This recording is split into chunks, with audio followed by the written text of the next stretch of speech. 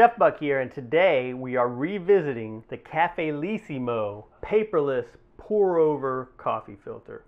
I've had this for about 15 months. I'll put a link to a video that I made last year. Although I've had it for 15 months, we were out of the country for a few months, so I didn't use it during that time. So it's been about a year of use, and it's gotten kind of heavy use the last few months because uh, the travel restrictions and whatnot. We don't go out for coffee anymore, so all the coffee I drink now is at home. But let's test it out after a year and see how it's doing. So I got my water heated up and it's way too hot, but that's okay. I just got out of the microwave bubbling, but we'll give it about a minute before I add the uh, coffee in here. As far as the uh, actual filter, you know, after a, a year of use, you can see it's discolored around the top a little bit. And really, that's the only sign of wear and tear. And I'm not sure why it's discoloring like that. I mean, I wash it um, every time I use it, so maybe it's from the water sitting around there. But I never fill it that that high. But I mean, other than that that little bit of discoloration, it kind of looks almost brand new. Now I'm going to go ahead and put as much coffee in here as I usually do, which is three spoonfuls to make me a cup of coffee. And it's a paperless filter, so you don't have to put a filter in here. But a lot of times I do put a filter in here and then I'll and then I'll pour it through the filter because it's easier cleanup. Because that's the thing with this here is you need to clean it after every use and in a timely fashion. You know, that's what I've been doing the entire time that I've had it. But we'll do this in real time uh, so that you'll see how it's been working out or how the flow is after a year.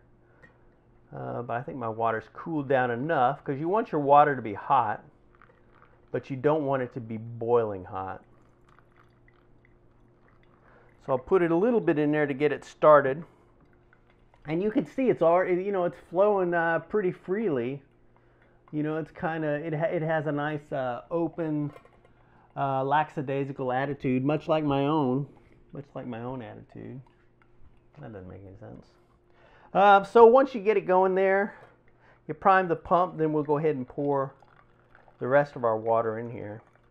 And the more water in here, the more water weight you have. So, you know, the faster it'll flow. Like if you just have a little dinky amount of water in there, it won't flow as fast. And of course, it's going to matter how finely ground your coffee is as well. Uh, we're just using uh, just a regular grind that I buy in the store. Now, ideally, I would like to use uh, coffee that I grind myself. But since we're uh, staying at my mother-in-law's and blah, blah, blah, she doesn't have one. We're not buying one because we don't know how long we're going to be here. And I don't carry a coffee grinder as part of my travel kit. But that's basically why I bought this Cafellissimo to go in our travel kit. So we take this, you know, whenever we go out. You know, whenever we're traveling in the U.S. But, you know, I didn't pack it to go to Mexico. But you can see the coffee's flowing.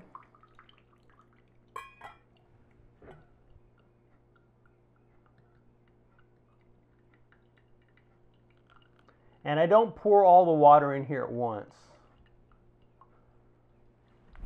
But that's the last little bit of it. And so we'll just wait until it uh, flows through the grounds and is all through. And then we'll clean it up because I, I generally clean it right after I use it, even before I drink my coffee. I go ahead and clean it and get it out of the way so it's not sitting around with the coffee grounds in it.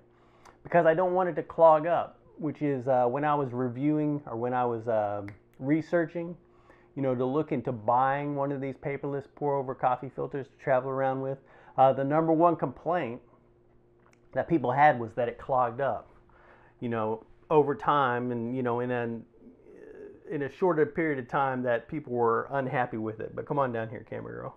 But as you can see, you know, this is uh, flowing through to my satisfaction. And there I've already got my cup of coffee. And like I said, I'll leave it real time in the video and we'll see how long that took. But now, once I, I've made my cup of coffee, I go ahead and clean it out. And this is where it's a pain in the butt. Because to get the grinds out of here, you know, you kind of have to spoon them out because they're kind of wet. It, you won't be able to get enough of it out uh, just by tipping it over and knocking it out of the bottom. Now, if you used a filter in here and just basically use this as a support for your filter over the coffee cup, it's a lot easier to clean. And if you don't mind using a paper filter, even though you have a paperless one, then you can do that. But I go ahead and I rinse it out with water and I, and I make sure that I have gotten all of the grinds out of the uh, filter. And then I take a soapy sponge and I just lightly wipe out the inside and around the outside. And I'm not pressing on this too hard. I'm just kind of giving it a little wipe.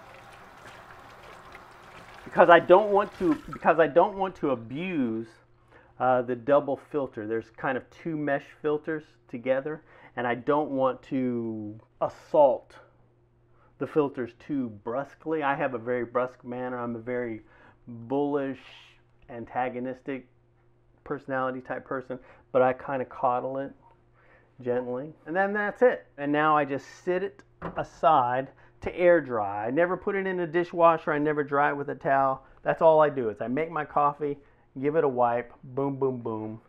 And then that's it. That's how long it takes me to make my coffee.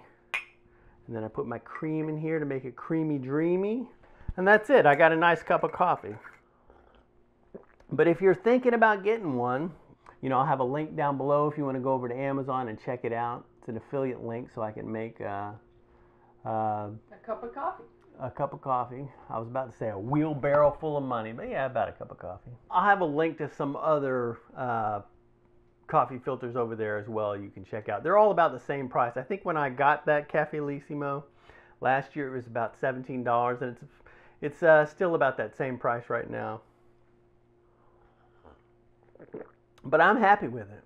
You know, for making one cup of coffee, it's ideal. And as far as it clogging up, I haven't had that issue. But you know, I'm a little OCD with the cleaning. You know, I'm not I'm not making my coffee, then going outside and playing uh, badminton all morning, and then coming in here and cleaning it up later after it's gotten all solidified in there.